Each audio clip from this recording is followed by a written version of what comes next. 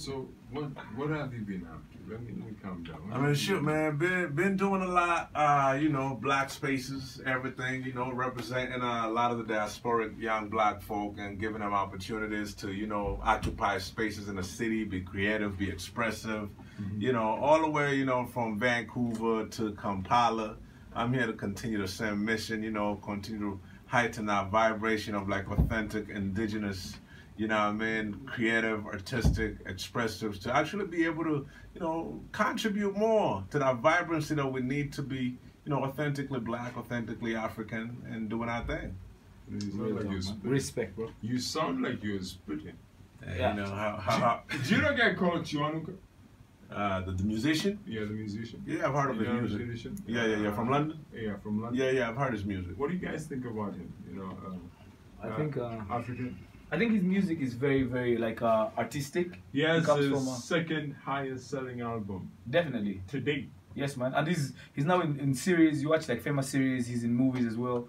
There's a movie about like uh, the the Beatles music before, and he was in it. He actually had a small role where he acted. So I'm, I'm just proud, you know. What do you guys think about his the Ugandan music out there, uh? I mean, there's different ways you can look at it, man. You you have our local, you know, ideologies, and then you got those that do the actual world music or try to fit it on a global scale. And I think, and then you have artists in the diaspora. So there's like different sections you have to look at it from. Have we grown as a as a country in regards to our music? Uh, in regards to expressiveness of music, I think there's a level of growth. Uh, in regards to systems, zero. You know, right now you you you'll notice that most of the artists are getting political.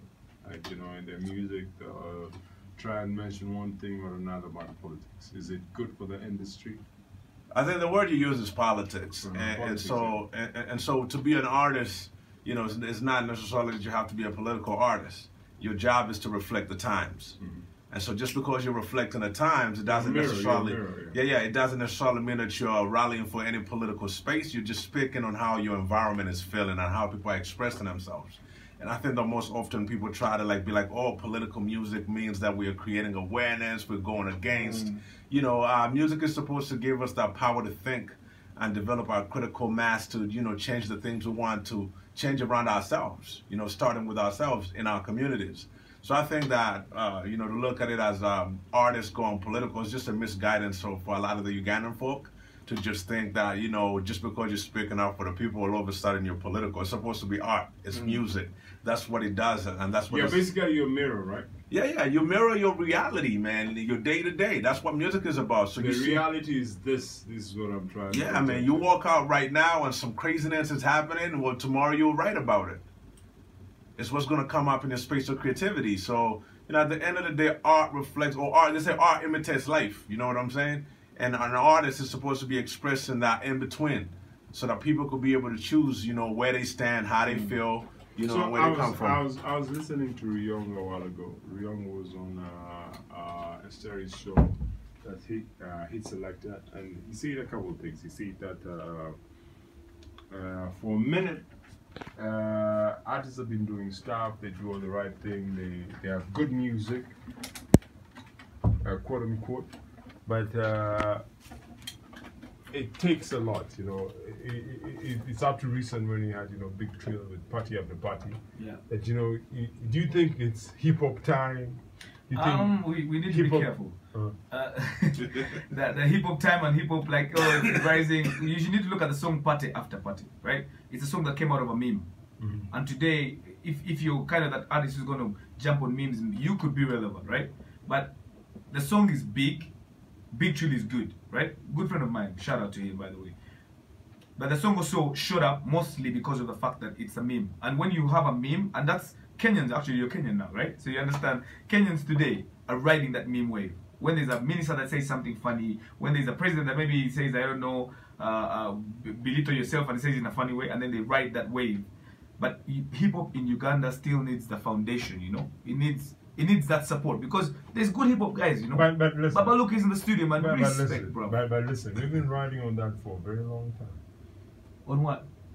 That you know, uh, what you sing, you know, originality, you know, have some character in your, in your ish, party after party came through, and you know, all of a sudden, it's, you know, uh, it's it, it has given a platform, and that's what Ryong has been saying. You know, Yeah. talk about, you know, it's more like But aside from party after party, not to cut you short, aside from party after party, which song, which other hip hop song is blazing in UG, for instance? And that's what I'm saying. Which other song? that's what I'm saying. Exactly, bro. We're on the same page. But- but- but Yeah, that's what I'm saying.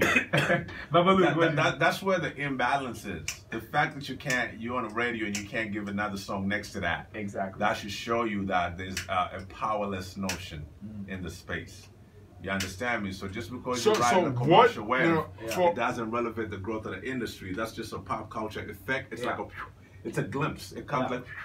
You So- write it and it fades away. You write it and it fades away, and no one could stand on that to build. But you need a platform. I think. I think to a certain degree, uh, uh, such songs give a platform. And Well, no, they have their role. So remember, we're using the word pop, and the other word we're using is commercial, right? Both of those two things serve a certain agenda. They have both the positives and, ne- and the negatives. If uh, if a conscious artist is doing a pop song, they know exactly what they're doing, yeah. but they have a foundation of where they're coming from. And if you shook their foundation, you'll be like, oh, yo, yeah, that's a strong MC, man. But they did that jam because they were playing with A plus B and D. Yeah. You know, I have, a but question, I, have, I have- I have a question for both of you. Does uh, hip hop as a genre have a space in your country? We here, man. What you mean? Is that, is that even a question? Yeah, yeah, you know, it's it's very irrelevant question. I know you will say, yeah, we're here, we're here, but you know, at the same time, we're talking about you know party after party, you know, giving a platform. So I'm gonna tell you what's funny. Uh-huh. You understand that every sound wave you listen in a day has a hip hop element to it, like all the I hit know, when- when you you understand that all the little young kids that are on the scene today, all of them are borrowing hip hop elements, Exactly. are margin them to actually cross over. Yeah. Now you see that before it was crazy dancehall, but now like everyone's got that that little like either what, what are they copying uh Fefe or Fik Fameica Yeah, or yeah, you know or GNL or whatever. Whoever they're emulating, it's a hip hop tonality Mm. that's taking the airwaves with the of course Nigerian emulated sound, you know Yeah. what I'm saying? That Yes. new ride, you know, that heavy tone, you know, dum, dum, you know what I mean? The other, so- day, uh, uh, the other day I was listening to, uh, what's his name, Burna Boy, and uh, they were asking him about the African sound. And, uh, you know, they have compared this guy to so many people, you know. Fela Kuti is one person that he's been compared to. Yeah. And, uh, yeah, yeah, yeah, and when you look at him, even the way he performs, there's some Fela Kuti uh, ish in him. Do you think is giving uh, Africans a sound? Do you think that you know is giving Africans a rhythm? As, I think you know? definitely Burna Boy's success has really given a huge stake to and, and, and boost to Africans in general, 100%. Because he's by far the artist who has actually really broken down barriers. Like, you know, going to spaces where Africans have not been in. Because mostly African music reaches Africans and people who like African music in the diaspora.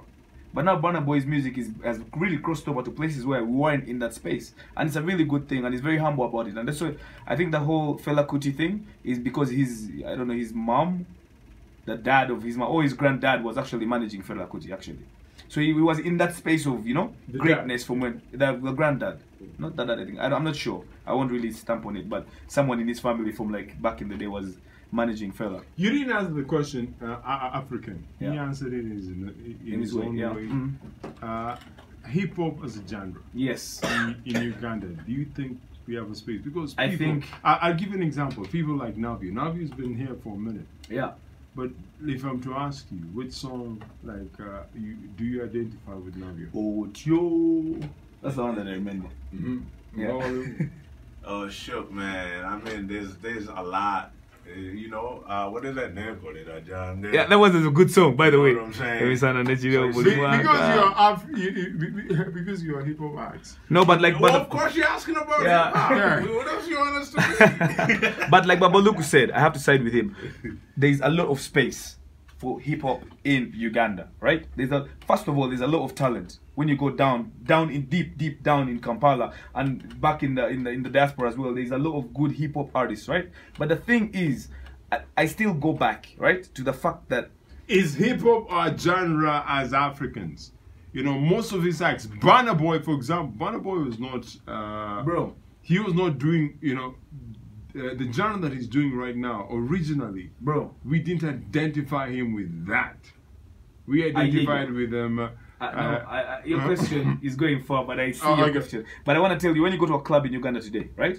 A DJ will play a lot of African music, right? But there's a part he reaches and he plays you some Chris Brown, some I don't know, I don't know, um, I don't know, uh, what the heck, though? where did that, no, five, four, three, all these kinds of music. That's all hip hop, right? In a different style, but it's hip hop. Why do they play hip hop from America? If you have, there's a song of Big Chill that I always remember. It goes like, I'll be your inside, outside. I will be all over the place. It's an old song. big Him and some girl called. Big up to you, Big Big Uh-huh. It was a very good song, and for many, for a lot of times, I had it on 88.2, right? Mm-hmm. Driving. This was many years ago in Uganda, maybe some 10, 15 years ago before I traveled. And I, and I said, Who made this song? It's a really dope song, but it was a Ugandan song. You get me? Now, the thing is, I've realized that, I'll give you an example just of my artist, Mugaba, right? Mugaba, when people didn't know who he was, he had In My Bed, which was a big tune. Mm-hmm. Guys were like, This is a big tune, right? Who is this guy? Now, then I give you another boy called Joeboy. You know Joeboy, I right? know, I know Joeboy. Who sang the baby song? Yeah. Now Joeboy came to Uganda with one song, bro. Babaluku, he came here with one song. That's the song people paid money for to watch him for, right? But do you know why? Because as Ugandans, we have this complex of omuntu waba very ng'abeera eri mbu Nigeria, mbu America, mbu wa ate wakabi. But we have one, wano. listen, listen. Don't, but, but, Real but- talk, bro. but- We but- pop yeah, a lot of yeah, space. yeah, yeah. Real talk, real Yes, talk. man. But this, these kids, these guys have worked for that, you know, for that clout. Like which ones? The Nigerians. No, they have, but I'm talking about this. I'm giving. I just gave you a small example. You mentioned the Joe the one boy, right? Mm. But also these kids, like eh, every every artist, has a story, right? Jalu, every artist has a story. Mugaba, for instance, I picked him up when he has like I don't know, 9, 10, 12 years. So Very young kid. basically, what are you telling people? What are you I'm telling saying, Ugandans? I'm saying because Ugandan industry is quote unquote run by DJs, right? The you as people, like the DJ Cass. the DJ Cassis, right? Because that the, the, artist bagumika wa Cacie never linda 2 a.m. Cassis, oh, you, by the Cacie has it rough because artists walk into the club, right? They play my music. And they're all waiting in the line for him to play their song. So I really feel sorry. I would never want to be a DJ in UG, man. Real talk. But also the DJs listen to some people. They listen to radio, right? And the radio plays some songs often, and the DJs know these songs. Zeziriko. You get me? and that's why songs get played. So if I think for me, right? Today the problem with hip hop not going far, in my opinion, in Uganda, is because hip hop artists, some of them, release not good productions. The song sounds good, but not good. Babalu, what do you tell the policymakers? We in South Africa, ninety percent. They have a ninety percent policy where they play uh, South African music. So, literally, as someone who participated in uh, spearheading uh, local content to be played on radio, especially from the hip hop genre, uh, I think that um, I don't I don't like to point fingers anymore because I think by the, by this time we as hip hop communities and, and hip hop lovers should be owning our own media. So first and foremost, I would like to like put that out there. Uh, but for the establishments that are present, uh, they're fighting with a force that is coming. That's all. That's how I feel. It's like you will not deny the hip hop voice. Like you denied it like 15 years ago, and now it's what you're using to do commercials. It's what you're using. Like even like dancehall artists are dressing like hip hop artists. Like the influence is deep, except that people are now relating to the fragments that they're picking from the culture. But what are you doing to this effect? Like, what are you doing? Uh, personally, man, I'm always spearheading, like putting, bringing people together to find new waves of being in our own space to own our own everything, man. Like we we're not here to beg radios to put us on. Uh, it's it's, it's high time that we mobilize young creatives to build our own industry, and that's why I say that there's no systems. If you recall that from my Yeah. earlier conversation, I said the only thing we're lacking now is systems that shift the paradigm. But the talent is here. We're like in a gold mine space whereby anyone who comes here with the right intent can shoot off with dope talent. You know, there's enough clout for individuals to create a whole new contributive sector to the music. Listen, when we did Luga Flow, nobody thought that that thing would be here. For real. They thought it was going to die out. Mm. You know, a lot of haters. I mean, newspapers wrote about it. Like, all mm. those guys are rapping local. What are they doing? You know what I mean? But look where we at. You know what I mean? We we we Africa's moving towards reclaiming our space. And you know, and, And you the know- more we do that, the more you as institutionalized spaces as media are going to be changing your content too. Yes, bro. Because we want more of ours. Respect. We want more that looks like us. That is so beautiful, you know. Uh, before we get back to music, you know, for I, I'm one of those guys that uh, was so against uh, trap music.